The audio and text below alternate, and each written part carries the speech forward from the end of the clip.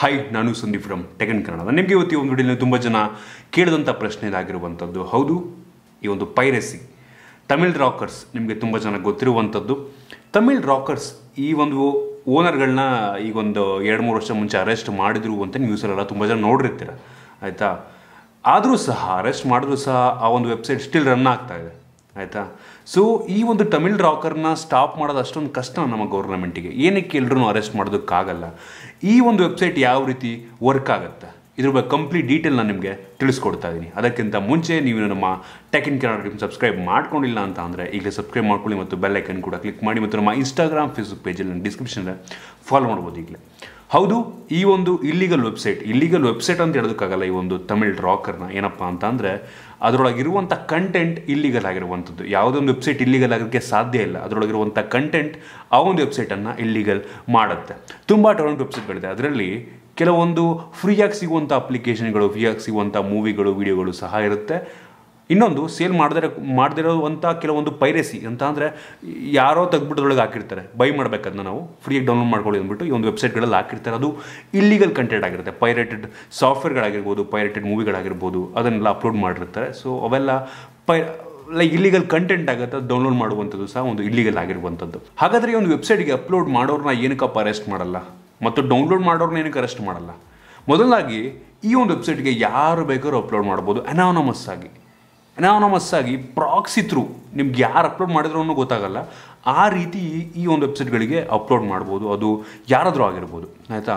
Upload ಮಾಡಿದ ತಕ್ಷಣ ಅವನೊಬ್ಬನೇ ಓನರ್ ಆಗಲ್ಲ ಆ್ಯಕ್ಚುಲಿ ಅಪ್ಲೋಡ್ ಮಾಡಿದವನು ಅವನೇ ಅಂತ ಆಗಲ್ಲ. ಏನಪ್ಪ ಆಗುತ್ತೆ ಅಂತ ಅಂದರೆ, ಒಂದು ಸಲ ಈ ಒಂದು ವೆಬ್ಸೈಟ್ಗೆ ಈ ಒಂದು ಫೈಲ್ ಬಂತು, ಯಾವುದೇ ಒಂದು ಇಲ್ಲಿಗಲ್ ಫೈಲ್ ಬಂತು ಅಂತ ಅಂದರೆ ಏನಪ್ಪ ಆಗುತ್ತೆ ಅಂದರೆ ಪ್ರತಿಯೊಬ್ಬರು ಯಾರು ಡೌನ್ಲೋಡ್ ಮಾಡ್ತಾ ಇದ್ದೀರಾ, ನೀವೇ ಡೌನ್ಲೋಡ್ ಮಾಡ್ತಿದ್ದೀರಾ ಅಂದರೂ ಸಹ ನೀವು ಅಪ್ಲೋಡರ್ ಆಗಿರ್ತೀರ. ಸೊ ಇದಕ್ಕೆ ಸೀಟ್ಸ್ ಆ್ಯಂಡ್ ಪಿಯರ್ಸ್ ಅಂತ ಕರೀತಾರೆ. ನೀವೇನಾದ್ರು ಒಂದು ಒಂದು ಫೈಲನ್ನು ಆ ಒಂದು ವೆಬ್ಸೈಟಿಂದ ಡೌನ್ಲೋಡ್ ಮಾಡ್ತಾ ಇದ್ದೀರಾ ಅಂತ ಅಂದರೆ, ನೀವು ಕೂಡ ಅಪ್ಲೋಡ್ ಮಾಡ್ತಾ ಇರ್ತೀರ. ಅದರಿಂದ ಡೌನ್ಲೋಡ್ ಮಾಡಿದ್ರಿ ಅಂದರೆ ನೀವು ಮಾಡ್ತಿರುವಂಥದ್ದು ಇಲ್ಲಿಗಲ್ ಅಂತಾನೆ. ಸೊ ಪ್ರತಿಯೊಬ್ಬರು ನೆನ್ಪಿಟ್ಕೊಳ್ಳಿ ನೀವು ಡೌನ್ಲೋಡ್ ಮಾಡ್ತೀರಾ ಅಂದರೆ ಇಲ್ಲಿಗಲ್ ಹಾಗಾದ್ರೆ ಏನಕ್ಕಪ್ಪ ಎಲ್ಲರ ಮೇಲೆ ಆ್ಯಕ್ಷನ್ ತೊಗೊಳೋದಕ್ಕಾಗಲ್ಲ ಅಂತ ನೀವು ಕೇಳ್ತಾ ಇದ್ದೀರಾ ಅಂತ ಅಂದರೆ, ಹೆಂಗಪ್ಪ ಆ್ಯಕ್ಷನ್ ತಗೋತಾರೆ? ಲಕ್ಷ ಲಕ್ಷ ಜನ ಒಂದು ಫೈಲ್ ಡೌನ್ಲೋಡ್ ಮಾಡ್ತಿದ್ದಾರೆ ಅಂದರೆ, ಲಕ್ಷ ಲಕ್ಷ ಜನನ ಪೊಲೀಸ್ಗಳು ಅರೆಸ್ಟ್ ಮಾಡಬೇಕಾಗತ್ತೆ. ಲಕ್ಷ ಲಕ್ಷ ಜನನ ಅವರು ಇನ್ವೆಸ್ಟಿಗೇಟ್ ಮಾಡಬೇಕಾಗತ್ತೆ.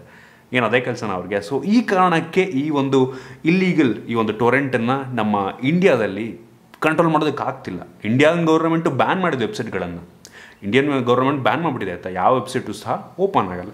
ಆದರೆ ನಿಮಗೆಲ್ಲ ಗೊತ್ತಿರ್ಬೋದು ವಿ ಪಿ ಎನ್ ಹಾಕ್ಕೊಂಡ್ರೆ ಯಾವ ವೆಬ್ಸೈಟ್ ಬೇಕಾದರೂ ಓಪನ್ ಆಗುತ್ತೆ. ಸೊ ಅದು ದಾರಿ ಎಲ್ಲ ಆಯಿತಾ ಗೌರ್ಮೆಂಟವ್ರು ಇದಿಷ್ಟೇ ಮಾಡೋಕ್ಕೆ ಸಾಧ್ಯ. ಆ ಒಂದು ವೆಬ್ಸೈಟ್ಗಳನ್ನು ಈ ಒಂದು ಐ ಎಸ್ ಪಿ ಪ್ರೊವೈಡರ್ಗಳಿರುತ್ತೆ ಇಂಟರ್ನೆಟ್ ಸರ್ವಿಸ್ ಪ್ರೊವೈಡರ್ಗಳು ಬ್ಲಾಕ್ ಮಾಡಿ ಅಂತಾರೆ, ಅದಷ್ಟೇ ಮಾಡೋದಕ್ಕಾಗೋದು ಇಂಡಿಯನ್ ಗೌರ್ಮೆಂಟಿಗೆ ಏನಕ್ಕಪ್ಪ ಅಂತಂದರೆ, ಆ ಸರ್ವರ್ಗಳು ಇಂಡಿಯಾದಲ್ಲಿ ಇಲ್ವಲ್ಲ? ರಷ್ಯಾ, ಯುಕ್ರೇನ್ ಅಥವಾ ಬೇರೆ ಇನ್ಯಾವುದೋ ದೇಶಗಳಲ್ಲಿ ಮಲ್ಟಿಪಲ್ ಐ ಎಸ್ ಪಿಗಳನ್ನು ರನ್ ಮಾಡ್ತಾ ಇರ್ತಾರೆ ಈ ಒಂದು ವೆಬ್ಸೈಟ್ ಓನರ್ಗಳು. ಅವ್ರು ಅರೆಸ್ಟ್ ಆದರೂ ಸಹ ಮಲ್ಟಿಪಲ್ ಓನರ್ಗಳಿರ್ತಾರೆ ಅವರು ಮ್ಯಾನೇಜ್ ಮಾಡ್ತಾ ಇರ್ತಾರೆ. ಅವ್ರ ಅವಶ್ಯಕತೆನೇ ಇಲ್ಲ. ಒಂದ್ಸಲ ಅವ್ರು ಮಾಡಿಬಿಟ್ಬಿಟ್ಟಿದ್ದಾರೆ, ಸೊ ಅವರ ಅವಶ್ಯಕತೆಗೆ ಏನು ಓನರ್ ಇದ್ದಾರೆ ಓನರ್ ಇದ್ದಾರೆ ಅವರ ಅವಶ್ಯಕತೆ ಇಲ್ಲ. ಮಲ್ಟಿಪಲ್ ಸರ್ವರ್ಗಳಲ್ಲಿ ಈ ಒಂದು ಏನು, ಈ ವೆಬ್ಸೈಟ್ಗಳು ತಮಿಳ್ ರಾಕರ್ ಒಂದೇ ಅಲ್ಲ, ಪ್ರತಿಯೊಂದು ಸಹ ರನ್ ಆಗ್ತಾ ಇರುತ್ತೆ. ಒಂದು ವೆಬ್ಸೈಟ್ ಆ ಒಂದು ಸರ್ವರಿಂದ ಡೌನ್ ಆಯಿತು ಅಂದರೆ ಇನ್ನೊಂದು ಸರ್ವರ್ಗೆ ಆಗ್ತಾರೆ ಸೊ ಆ ರೀತಿ ತುಂಬ ಅಂದರೆ ತುಂಬ ಕಷ್ಟ. ಅದು ನಮ್ಮ ಕಂಟ್ರೋಲ್ ನಮ್ಮ ಗೌರ್ಮೆಂಟ್ ಕಂಟ್ರೋಲ್ ಇಲ್ಲವೇ ಇಲ್ಲ ಅದು. ಸೊ ಅವ್ರು ಬೇರೆ ದೇಶಕ್ಕೆ ಹೋಗ್ಬಿಟ್ಟು ಅಲ್ಲಿ ಬ್ಲಾಕ್ ಮಾಡಿ ಅನ್ನೋದಕ್ಕಾಗಲ್ಲ ನಮ್ಮ ಗೌರ್ಮೆಂಟು ಸೊ ಒಂದು ವೆಬ್ಸೈಟ್ ಮಾಡುವಂಥದ್ದು ಇಲ್ಲಿಗಲ್ಲ ಯಾರು ಬೇಕಾದ್ರೂ ವೆಬ್ಸೈಟ್ ಮಾಡ್ಬೋದಾದ್ರೆ ಅದರೊಳಗಿರುವಂಥ ಕಂಟೆಂಟ್ ಈ ರೀತಿ ಇರುತ್ತೆ. ನೀವು ನೀವಾಗಾದ್ರೆ ಅನ್ಕೋತಿರ್ಬೋದು, ಯಾರೋ ಒಬ್ಬ ವ್ಯಕ್ತಿ ಈ ಒಂದು ಟೊರೆಂಟ್ ವೆಬ್ಸೈಟ್ಗಳಿಗೆ ಏನೋ ಒಂದು ಫೈಲ್ನ ಅಪ್ಲೋಡ್ ಮಾಡ್ದ ಅಂದರೆ ಅವ್ನಿಗೆ ಏನಪ್ಪ ಸಿಗುತ್ತೆ ಅಂತ ನೀವು ಅನ್ಕೋತಿದ್ದೀರಾ ಅಂತ ಅಂದರೆ ಆ್ಯಕ್ಚುಲಿ ಏನೂ ಸಿಗಲ್ಲ. ಈ ಒಂದು ಟೊರೆಂಟ್ ವೆಬ್ಸೈಟ್ ಓನರ್ಗಳಿರ್ತಾರೆ ಅವರು ಅಡ್ವ ಅಡ್ವರ್ಟೈಸ್ಮೆಂಟ್ ಹಾಕೊಂಡ್ಬಿಡ್ತಾರೆ ಅವ್ರ ವೆಬ್ಸೈಟಿಗೆ ಅದರಿಂದ ಅವ್ರು ದುಡ್ಡು ಮಾಡ್ತಾರೆ. ಆದರೆ ಅಪ್ಲೋಡ್ ಮಾಡೋನಿಗೆ ಝೀರೋ ಒಂದು ರೂಪಾಯಿ ಕೂಡ ಸಿಗಲ್ಲ. ಏನಪ್ಪ ಅಡ್ವಾಂಟೇಜ್ ಆಗಿ ಸುಮ್ಮನೆ ತಲೆಕೆಟ್ಟು ಮಾಡ್ತಾರೆ? ಏನಂತ ಅಂದರೆ ಅಪ್ಲೋಡ್ ಮಾಡೋ ಫೈಲ್ಗಳೆಲ್ಲ ಅವ್ರ ಹೆಸರು ಹಾಕೊಂಡಿರ್ತಾರೆ. ಅದೇ ಫೇಮ್ ಅವರಿಗೆ. ಅವ್ರು ಒಂದು ರಾಬಿನ್ ಇಡ್ತಾರೆ. ಜನಗಳಿಗೆ ಈ ರೀತಿ ಎಲ್ಪ್ ಮಾಡ್ತೀನಿ ಅನ್ನೋ ಥರ ಅವ್ರ ಮೆಂಟಾಲಿಟಿ ಇರುತ್ತೆ. ಸೊ ಅದಕ್ಕೆ ಅಪ್ಲೋಡ್ ಮಾಡ್ತಾರೆ. ಅದರಿಂದ ಅವ್ರಿಗೆ ಏನೂ ಲಾಭ ಇಲ್ಲ. ಒಂದು ರೂಪಾಯಿ ಲಾಭ ಇಲ್ಲ. ನೀವು ಅಂದ್ಕೊಂಡಿರ್ಬೋದು ತುಂಬ ದುಡ್ಡು ಮಾಡಿ. ಏನೂ ಲಾಭ ಇಲ್ಲ.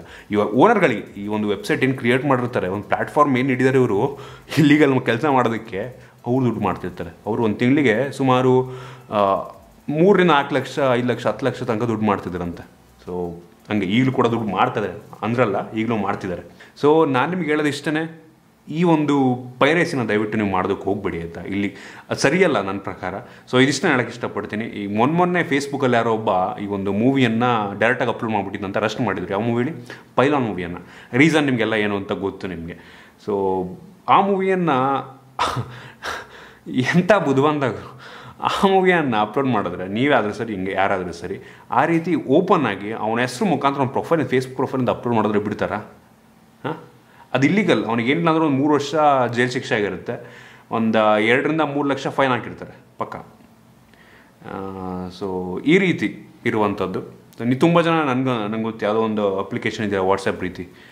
ಅದರಲ್ಲೂ ಕೂಡ ತುಂಬ ಜನ ಡೌನ್ಲೋಡ್ ಮಾಡ್ಕೋತೀರಾ? ಇದೆಲ್ಲ ನಂಗೆ ಕಾಮೆಂಟಲ್ಲಿ ಬರ್ತಾ ಇರುತ್ತೆ ತುಂಬ ಇದ್ರ ವಿಷಯ. ಸೊ ದಯವಿಟ್ಟು ಪೈರಸಿನ್ ಮಾಡೋದಕ್ಕೆ ಹೋಗ್ಬೇಡಿ. ಮೂವಿಯನ್ನು ಮೇಯ್ನ್ ಮೂವಿನೇ ಆಯಿತಾ? ಎಷ್ಟೋ ಜನ ನಿಮ್ಗೆ ಗೊತ್ತಿರ್ಬೋದು ವಿಂಡೋಸ್ ಎಷ್ಟು ಜನ ಪೈರೇಟೆಡ್ ಹಾಕೋತಾರೆ. ಅವ್ರು ಕೇಳೋದಕ್ಕೆ ಹೋಗಲ್ಲ. ನೈಂಟಿ ಪರ್ಸೆಂಟ್ ಆಫ್ ದ ಏನು ವಿಂಡೋಸ್ ಇದೆ ನಮ್ಮ ಕಂಪ್ಯೂಟರ್ದು ಅದೆಲ್ಲ ಪೈರೇಟ್ ಆಗಿರುವಂಥದ್ದಂತೆ. ಮತ್ತು around seventy percent of the movie online ಏನು ಸ್ಟ್ರೀಮ್ ಮಾಡ್ತಾರೆ, ಅದೆಲ್ಲ ಪೈರೇಟೆಡ್ ಇದರಿಂದ ಬಂದಿರುವಂಥದ್ದನ್ನೇ ನಮ್ಮ ಇಂಡಿಯಾದಲ್ಲಿ ಸೆವೆಂಟಿ ಪರ್ಸೆಂಟ್ ಸ್ಟ್ರೀಮ್ ಆಗ್ತಾ ಇರುವಂಥದ್ದು. ಸೊ ಮೇಜರ್ ನಮ್ಮ ಇಂಡಿಯಾದಲ್ಲಿ ಮೂವಿ ಪೈರಸಿನ ಜಾಸ್ತಿ ಆಗಿರೋದ್ರಿಂದ ದಯವಿಟ್ಟು ಎಲ್ಲ ಥಿಯೇಟ್ರಿಗೆ ಹೋಗ್ಬಿಟ್ಟು ಮೂವಿ ನೋಡಿ ಅಂತಲೇ ಹೇಳೋಕ್ಕೆ ಇಷ್ಟಪಡ್ತೀನಿ ನಾನು. ಸೊ ಇದಿಷ್ಟು ನಿಮಗೆ ಅರ್ಥ ಆಯ್ತು ಅನ್ಕೋತೀನಿ. ಏನಕ್ಕೆ ಈ ತಮಿಳ್ ರಾಕರ್ಸ್ ಇವ್ರನ್ನೆಲ್ಲ ತಡೆಯೋದು ತುಂಬ ಕಷ್ಟ ಅಂತ. ಸೊ ನಿಮಗೆ ಯೂಸ್ಫುಲ್ ಆಗಿ ಅನ್ಕೋತೀನಿ. ಏನಾದ್ರು ಡೌಟ್ಸ್ ಇದ್ರೆ ದಯವಿಟ್ಟು ಕೆಳಗಡೆ ಕಾಮೆಂಟಲ್ಲಿ ತಿಳಿಸಿ. ಇದೇ ರೀತಿ ನಮ್ಮ ಬೇರೆ ಬೇರೆ ವಿಡಿಯೋಗಳಿಗೆ ನಮ್ಮ ಟೆಕ್ನಿಕ್ ನೀವು ಸಬ್ಸ್ಕ್ರೈಬ್ ಮಾಡ್ಕೊಂಡಿಲ್ಲ ಅಂತಲೇ ಸಬ್ಸ್ಕ್ರೈಬ್ ಮಾಡ್ಕೊಳ್ಳಿ ಮತ್ತು ಬೆಲ್ ಐಕನ್ ಕೂಡ ಕ್ಲಿಕ್ ಮಾಡಿ. ಮತ್ತು ನಮ್ಮ ಇನ್ಸ್ಟಾಗ್ರಾಮ್ ಫೇಸ್ಬುಕ್ ಪೇಜನ್ನು ಡಿಸ್ಕ್ರಿಪ್ಷನ್ ಫಾಲೋ ಮಾಡೋದಿಲ್ಲ ಸಿಗೋಣ ಮುಂದೆ